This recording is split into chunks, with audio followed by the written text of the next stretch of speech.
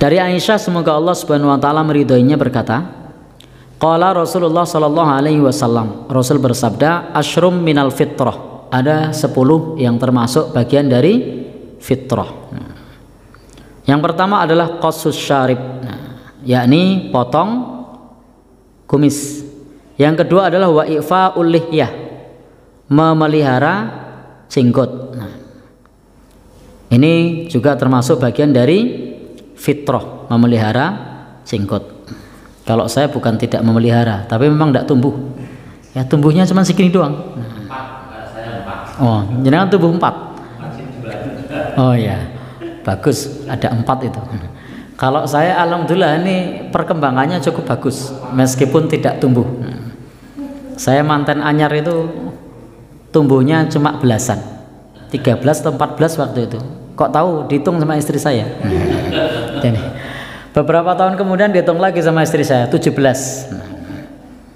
kemudian dihitung lagi udah berapa lupa saya. Kok kober-kober ngitung? Nah itulah namanya romantisme rumah tangga. Sajana yo gopong ngitung gitu kan? Baik. Jadi yang pertama adalah sunnah potong kumis Kemudian yang kedua sunnah pelihara jenggot. Baik. Sehingga memelihara jenggot ini juga termasuk fi'liyah Nabi Shallallahu Alaihi Wasallam. Tetapi kalau kita melihat di apa tarjih yang terkait dengan lihya itu ada pembahasan khusus. Nah, di situ pembahasannya adalah bahwa saat itu orang-orang Majusi itu memanjangkan apa kumis dan mencukur jenggot sehingga umat Islam memanjangkan jenggot dan mencukur kumis. Nah, sehingga kalau di pandangan fatwa-fatwa tarjih ini termasuk yang al hukmu yaduru ma'a illatihi. Suatu hukum itu berjalan berdasarkan sesuai dengan ilahnya nah kalau saya pribadi dalam hal yang semacam ini ketika itu ada dalilnya dan kita bisa mengamalkan sebagai wujud cinta kepada Nabi maka ini masih termasuk sunnah fi'liyah. Sunnah fi'liyah itu sunnah perbuatan Nabi Shallallahu Alaihi Wasallam. Dan sah-sah saja ketika kemudian e, berpendapat bahwa ini salah satu sebabnya itu. Karena memang Nabi sendiri bersabda khaliful yahud selisihilah orang-orang Yahudi. Dan memang e, maaf selisihilah orang-orang Majusi. Nah, karena memang orang-orang Majusi waktu itu e, kumisnya panjang, jenggotnya di dicukur. Sehingga di dalam bab ini ketika kita membaca hadis ini maka ada dua pemahaman. Pemahaman yang pertama ini adalah ya turu ma'a illatihi, berjalan sesuai dengan ilahnya. Yang kedua, kalau saya pribadi memilih karena ini Nabi menyebutkan dan beliau menyebut 10 dari fitrah maka memelihara jenggot bukanlah sebuah kekeliruan.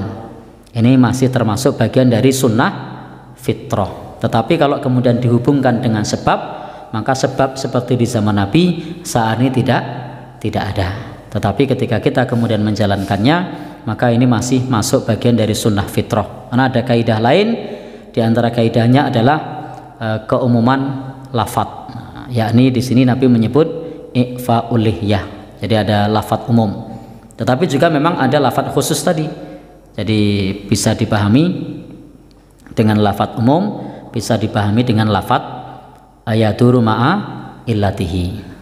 Sehingga bagi kita di dalam hal memelihara jenggot ini monggo ketika jenengan menggunakan kaidah al hukmu yaduru ma'a illatihi lalu kemudian jenggotnya dicukur itu monggo. Tetapi ketika ada yang berpendapat bahwasanya memelihara jenggot itu sunnah maka tidak boleh kemudian menjadi bahan olok olokan. Demikian pula dalam bab yang semacam ini kita perlu berlapang dada cara pandang yang berbeda. Kalau saya pribadi ini masih memasukkan dalam kategori bahwa ini adalah sunnah fi'liyah Nabi dan masuk bagian dari sunnah fitrah dan sebagian lagi ada yang memahami bahwa ini adalah uh, hukumnya wajib. Kalau saya pribadi tidak masuk ke dalam hukum wajib, tapi masuk ke dalam hukum sunnah fi'liyah atau sunnah fitrah. Baik. Yang berikutnya wasiwak dan bersiwak. Nah, siwak. Yang berikutnya tadi siwak sudah kita bahas. Wastinsyaqul ma istinsyak. Nah, istinsyak ini memasukkan air ke dalam hidung. Jadi pada saat kita ber berwudu, tidak semua orang bisa. Di sini termasuk pula dimasukkan sebagai sunnah fitrah. Sehingga pada saat berwudu, ketika kita mampu, maka bisa dibiasakan untuk memasukkan air ke dalam hidung. Kalau sudah dimasukkan otomatis dikeluarkan. Nah, mengeluarkannya itu namanya istinsyar.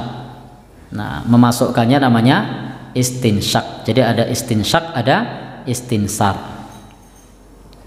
Berikutnya waqasul atfar, memotong kuku. Nah, memotong kuku.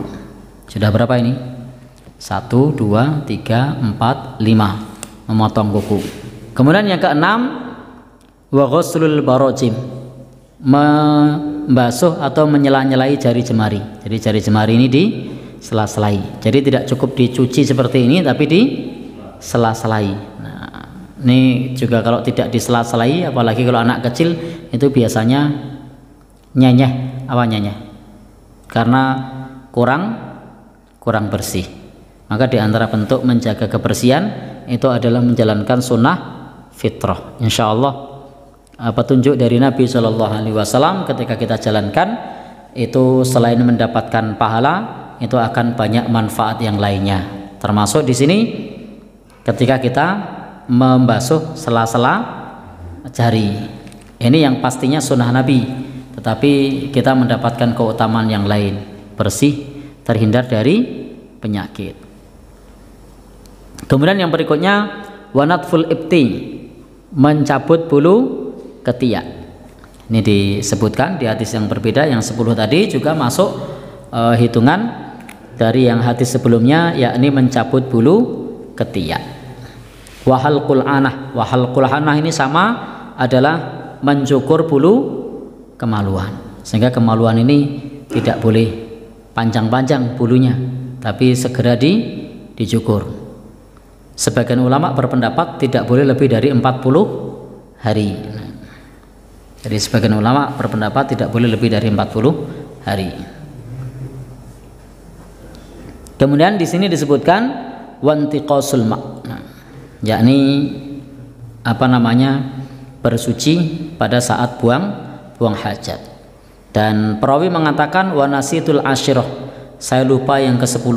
Nah, jadi perawi tadi menyebutkan ada 10, tapi perawi mengatakan saya lupa sunnah fitrah yang ke 10 jadi perawi hanya menyebutkan 9 nah illa antakunal matuh matuh kalau tidak salah kata perawi itu adalah kumur-kumur. Nah, jadi kata perawi kalau tidak salah kumur-kumur. Tetapi waqala waqi ada yang menyebutkan ini adalah waqi salah satu dari perawi mengatakan yang terakhir itu adalah istinja. Nah, yakni yang terakhir itu adalah istinja. Sehingga ini sama dengan yang disebut tadi sehingga jumlahnya masih sembilan. Karena inti ma itu ya artinya istinja.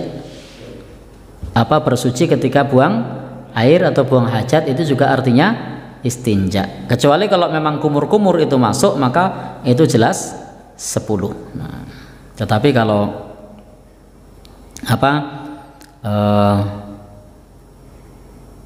kumur-kumur itu tidak masuk maka dalam hadis ini baru ada sembilan. Kemudian yang dimaksud sebagai barojim tadi itu adalah menyerai menyela-nyelai jari-jari. Ada pula yang di sini dimaknai dengan menyela-nyelai apa? Ya lihiyah. Baik hadis yang berikutnya. Dari Nabi Shallallahu Alaihi Wasallam ini hadisnya masih banyak sebenarnya tapi tidak apa-apa kita akhiri di sini karena insya Allah secara teks pesan sudah bisa kita terima dari pesan-pesan yang ada di dalam hadis ini. Dari sahabat Ibnu Umar semoga Allah meridhoinya berkata, Ani Nabi Shallallahu Alaihi Wasallam qol bahwa dari Nabi Shallallahu Alaihi Wasallam beliau bersabda, ahfus syawarib wa afulih. Beliau mengatakan untuk memotong kumis dan memelihara jenggot. Jadi kata Nabi, Nabi Shallallahu Alaihi Wasallam bersabda, peliharalah jenggot dan potonglah kumis kebalik. Potonglah kumis dan peliharalah jenggot. Ini sabda dari Nabi Shallallahu Alaihi Wasallam.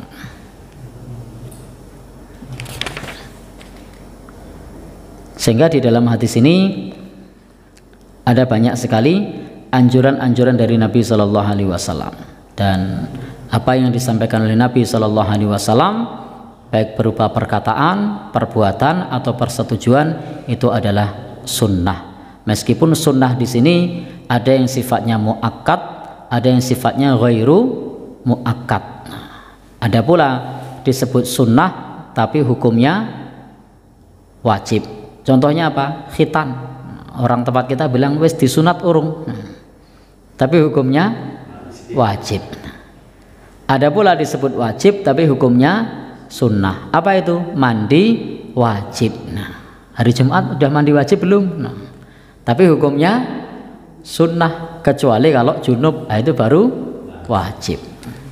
Baik, sehingga kita ketika berbicara harus paham konteks apa yang dimaksud oleh orang yang sedang ber, berbicara, sehingga kita tidak salah memahami atas konteks yang disampaikan oleh orang yang sedang ber, berbicara.